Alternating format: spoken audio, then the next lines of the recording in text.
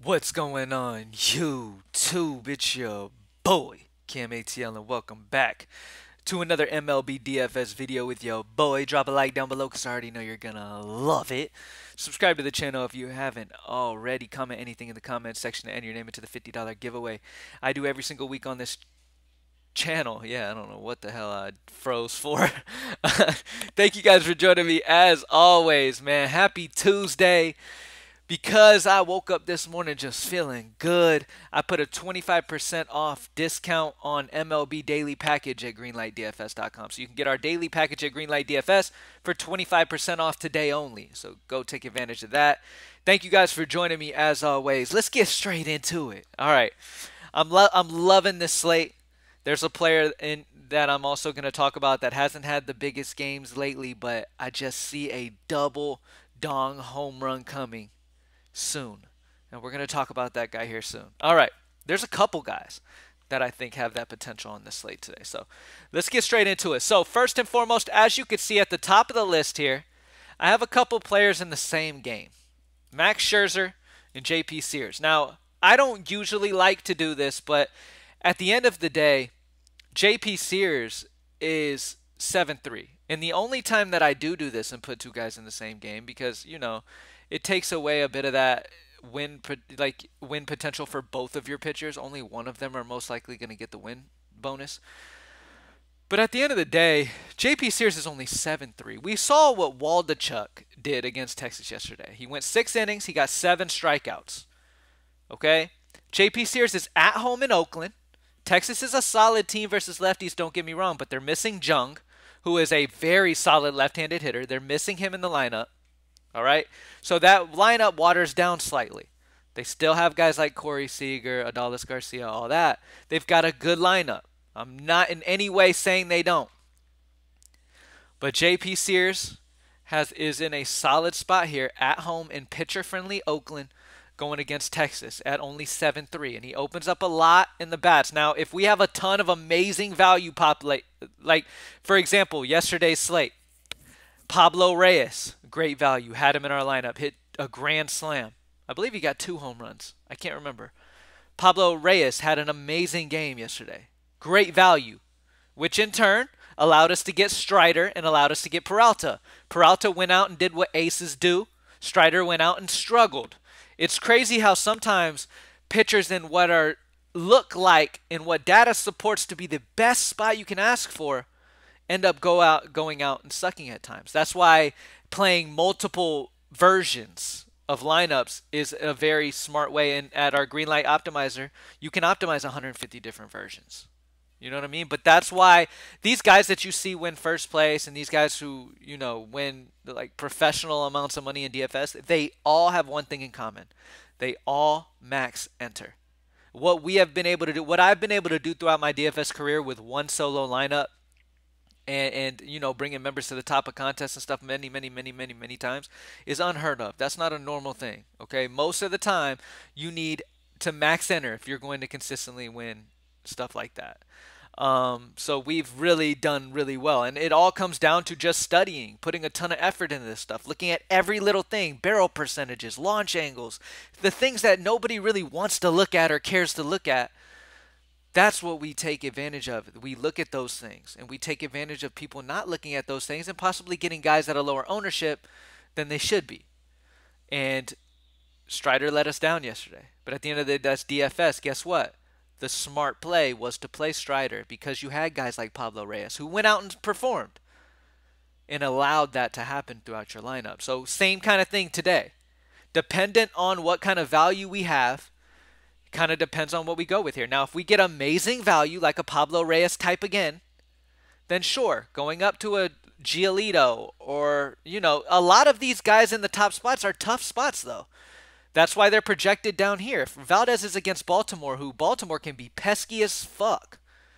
At home in Baltimore, Valdez is in a hard spot. Lucas Giolito is in an okay spot against San Francisco. I could acknowledge him. Kikuchi's going against Cleveland. Jose Ramirez is not quite suspended yet. He's still there. So that's tough. Cleveland doesn't strike out much. Wade Miley's in an interesting spot as another value guy. Grayson Rodriguez is against Houston. No, thank you. So Miley I could consider. But yeah, I mean, there's just not a ton of great options. That's why I'm going JP Sears with no Jung in that Texas lineup.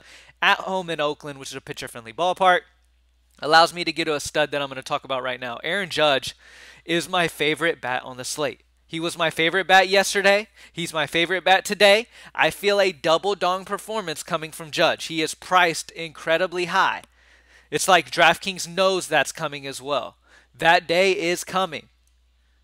He's going against Touki today, the righty. Throughout Aaron Judge's career, he has had he has a higher WOBA versus righties than he does lefties. He's one of those guys that yes hits his same hand better than the opposite. Aaron Judge is in a great spot here. He is in a spot.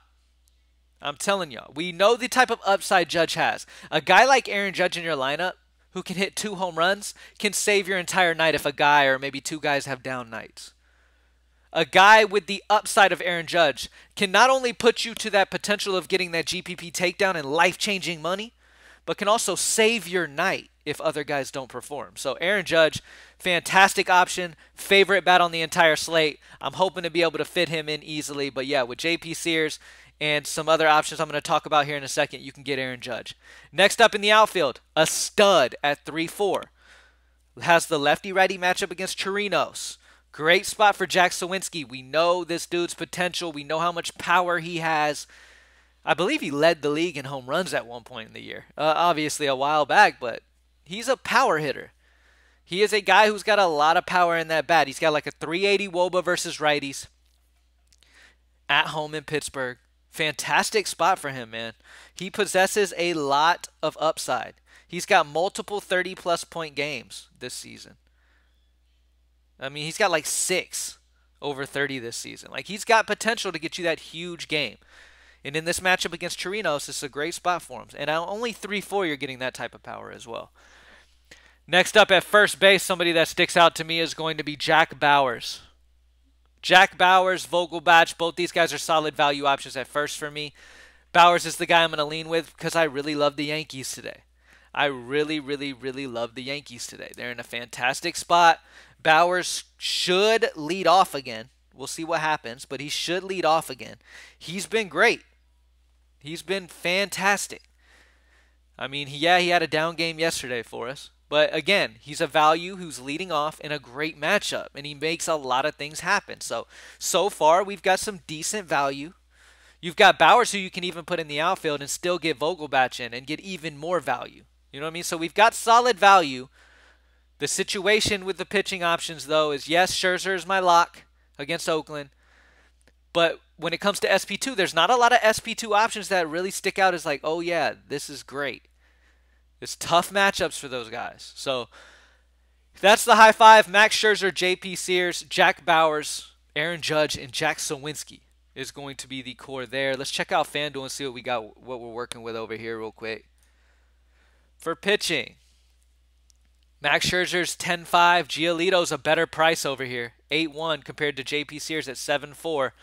Definitely better value on FanDuel than he is on DK. I'm going to try to still get Scherzer. I like to get my overall favorite hitters if I can. Um, Aaron Judge, projected fantastic over here, 4K. Devers is another guy I really, really like. I really, Jack Suwinski 2-8. Got to start it off with him. Under 3K for Jack Suwinski. Got to get him. We know how great a value he is today. Um, we already talked about him. Triston Casas in that high Boston total is another guy that's very interesting. He's got a ton of upside. Um, let's see. Let's go back up to the top up here. Rafael Devers at only 3.5 looks like one of the better stud values. Aaron Judge, if I can get him in, I'll definitely love to do that. So Max Scherzer, Devers, Suwinski, Judge, Casas, kind of the options that I'm really looking at. Devers and Judge is my favorite spend up stud value uh, options. And then um, Suwinski, my favorite value. And then Casas, my favorite value. We've got multiple options. Where's Bauers? Bauers is 2 7. He's also a value option over here. Um, yeah, we've got many options over here on FanDuel. So Scherzer's kind of the pitcher that I'm hoping to go with. So I'll be rocking with him. And then, uh, you know, Devers, Suwinski, Judge, and Casas. Thank you guys for joining me as always, man. 25% off at Greenlight DFS for the daily subscription today. Go grab that. Let's have a big night. Thank you guys for joining me as always. I'm out. Peace.